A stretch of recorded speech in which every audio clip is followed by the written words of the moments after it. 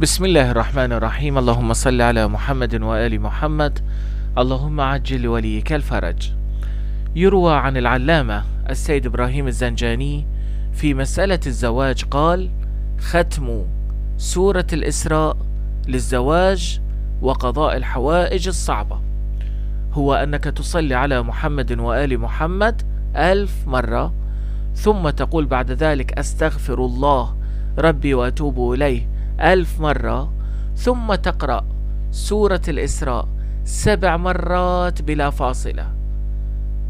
إذا كانت فتاة فتتزوج سريعا وإذا كان يعني شاب فهو يتزوج سريعا. مع قضاء الحوائج الصعبة جميعا. تقرأ سورة الإسراء أو تقرأ سورة الإسراء بلا فاصلة ولا أحد يقاطعك ولا أحد يتكلم معك لوحدك. فتقضى الحاجة حتما حتما حتما وهو مجرب.